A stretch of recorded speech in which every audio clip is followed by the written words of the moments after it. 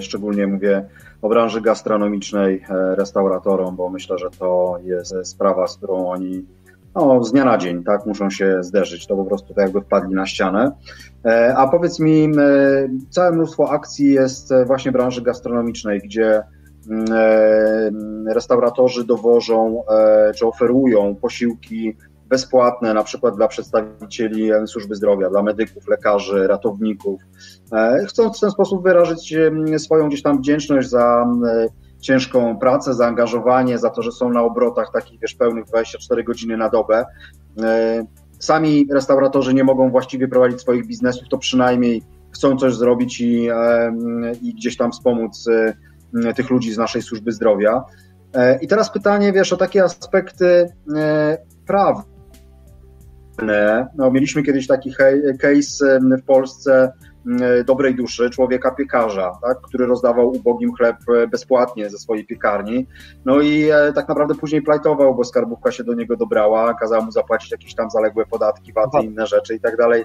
Mm, jak dzisiaj mówi o tym prawo i czy restauratorzy, którzy wychodzą z taką wspaniałą inicjatywą, czy oni przypadkiem nie narażają się na no właśnie jakieś mówiąc prost, głupie przepisy, które no, ktoś im po prostu zaraz moment dowali, albo jak się wszystko uspokoi, to nagle sobie o nich przypomni i powie, o tak, widzieliśmy, mamy cały zapis, y, wiesz, w aktach y, historię waszych y, social mediów, jak rozdawaliście jedzenie na lewo i na prawo za darmo, zawoziliście do szpitali, a gdzie podatek od tego? Znaczy ja generalnie wolałbym, żebyśmy, y, chociaż to bzdurnie zabrzmi, ale nie posługiwali się pojęciem za darmo, tylko za jeden grosz, to już nie jest za darmo. Y, chociaż oczywiście wiem, że to jest pewne uproszczenie i mam świadomość, natomiast y, chodzi też o kwestię zafiskalizowania tego, e, a nie możemy generalnie zafiskalizować transakcji zerowej, e, co do zasady, więc jeden grosz jest ok. Znaczy, e, Rafale, w normalnych czasach bym powiedział, że oczywiście wyobrażam sobie, że jakiś urzędnik fiskusowy przyjdzie i zacznie zrobić domiar podatku, dlatego że, yy, że ja, yy, że wartość mojej, mojej usługi była zdecydowanie wyższa, więc powinienem od tej normalnej wartości rynkowej zapłacić podatek. Co do zasady. Natomiast po pierwsze, pod sytuacji z piekarzem zmieniły się przepisy VAT-owskie i dostawa i darowizna na cele charytatywne już jest, przestaje być, przestaje powodować obowiązek zapłaty VAT-u, to raz. E, dwa, no biorąc pod uwagę wszystkie okoliczności, to tak jak ostatnio była sytuacja urzędnika skarbowego, który zajął 11-letniej dziewczynce niepełnosprawnej meble i został natychmiast tam w ciągu kilku dni odwołany ze swojego stanowiska, tak zakładam, że taki, takie sytuacje, gdyby ktoś robił tak kompletnie irracjonalne i aberracyjne działania, to tak to by się skończyło. E, oczywiście to nie jest, to nie jest też nie zachęcam do tego, żeby obchodzić przepisy podatkowe, czyli żeby pod płaszczykiem darowizny robić, niefisk robić niefiskalizowany obrót daruj, jeżeli ktoś ma gest, ok, popieram i zakładam, że Urząd Skarbowy jest, też ma, e, po drugiej stronie siedzą ludzie. Hmm. Słuchaj, wiele teraz restauracji, e, no z racji tego, że nie mogą prowadzić normalnie swojej działalności, no to albo rozwijają, czy starają się bardziej promować wszystko na wynos, dostawy, odbiór osobisty, ale jakby wydawanie poza restaurację posiłków.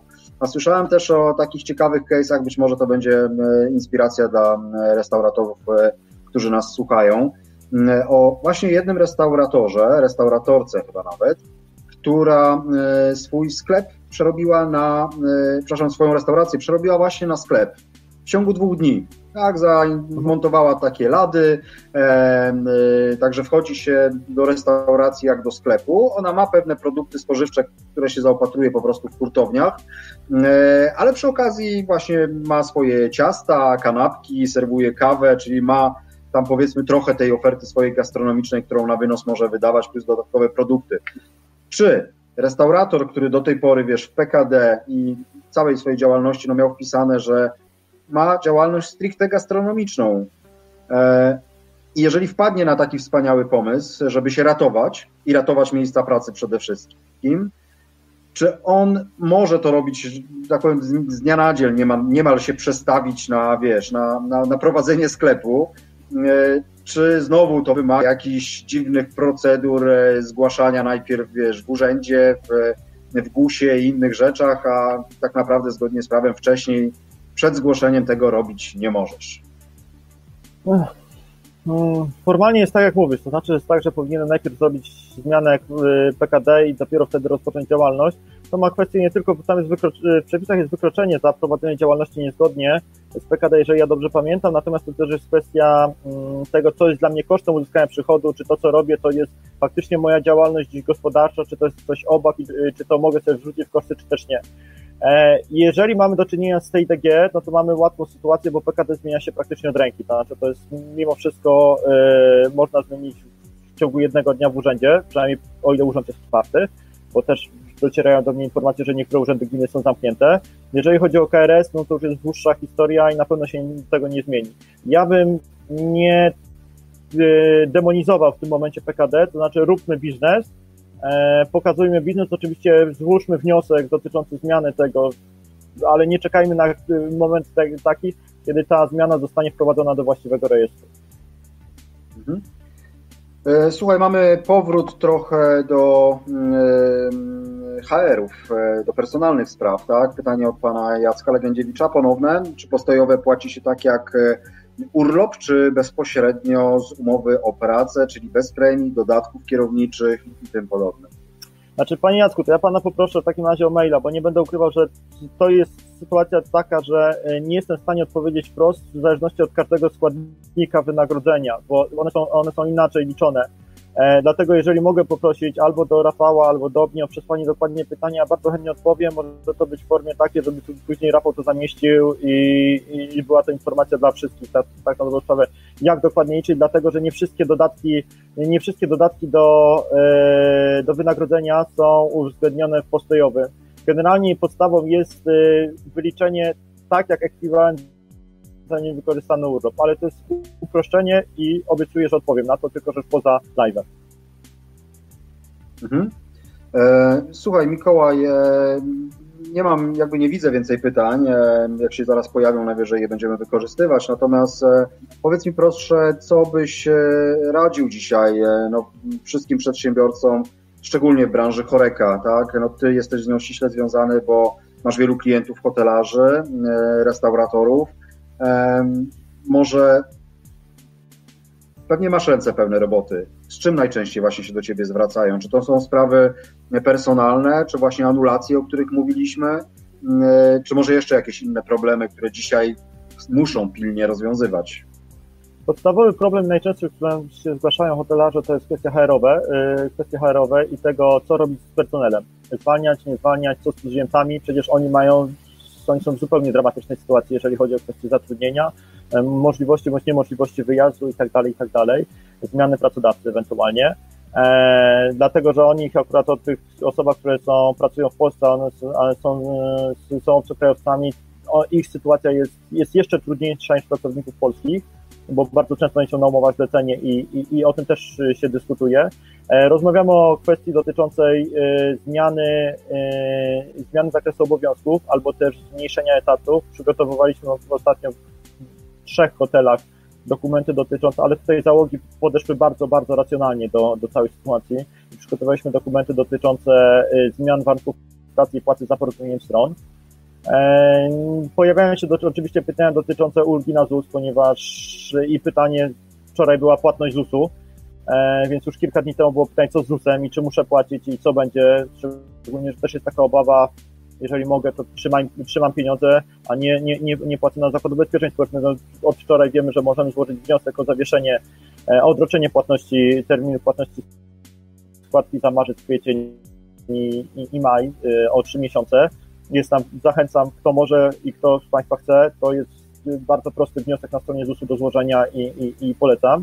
E, to w największej, jeżeli chodzi o kwestię anulacji, anulacje nastąpiły w największym momencie jakieś półtora tygodnia temu. To znaczy, od, jeszcze ponieważ e, mam sytuację dotyczącą um, klientów z zakresu najmu krótkoterminowego, ja wiem, że hotelarze z najmem krótkoterminowym nie do końca e, zawsze im po drodze jest, natomiast ta, ta branża, ponieważ ona jest, jest w istotnej części funkcjonuje w oparciu o kredyty, e, również było dużo pytań dotyczących tego, co, czy, czy też o umowy najmu od właścicieli, to znaczy to tam są, tam najczęściej model biznesowy polega na tym, że ja wynajmuję od kogoś i podnajmuję na najem krótkoterminowy, to pojawiają się pytania dokładnie takie same jak twoje Rafale odnośnie restauracji, czy mogę rozwiązać umowę najmu w trybie natychmiastowym, bo biznes mi nie idzie. Natomiast nie, oczywiście znowu odwołuję się do, do komentarza teraz Maćka Strausa, ja się spodziewam, że oferty sprzedam hotel i hot deal to wbrew pozorom nie będą, nie będą rzadkie, dlatego że dokładnie takie, takie oferty już zacząłem widzieć na Facebooku, w grupach hotelowych. Pewnie Państwo też, jak wszyscy spotykamy się w tym medium. Hmm. Hmm. Mikołaj, e, poruszyłeś myślę ważny temat e, w poprzednim zdaniu odnośnie wypowiedzenia umowy najmu lokalu, na przykład właśnie pod gastronomię, restaurację, kawiarnię w trybie natychmiastowym. Czy w takiej sytuacji jest ku temu podstawa? Dużo zależy od tego, co jest w umowie. E, dużo zależy od tego, e, dużo zależy też od tego, co, czy mam realną możliwość zrobienia czegoś innego w tym lokalu.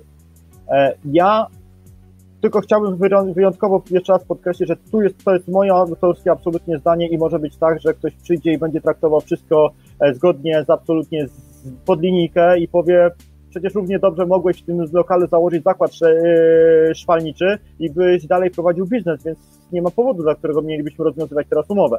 Natomiast jeżeli było w umowie, w umowie najmu jest wskazane, że to jest lokal pod gastronomię i mamy tak bardzo tak głębokie ograniczenie możliwości prowadzenia działalności gastronomicznej, praktycznie jest ona wyłączona w takim tradycyjnym modelu, bo dania na wynos to nie jest działalność gastronomiczna taka klasyczna, bym powiedział w ten sposób, no to, jest, to nie jest restauracja, e, to moim zdaniem to jest możliwość do tego, żeby stwierdził, że ta umowa wygasła. E, natomiast mam świadomość, że pogląd jest dyskusyjny, szczególnie z punktu widzenia właścicieli tych lokali, którzy z tego często, często żyją.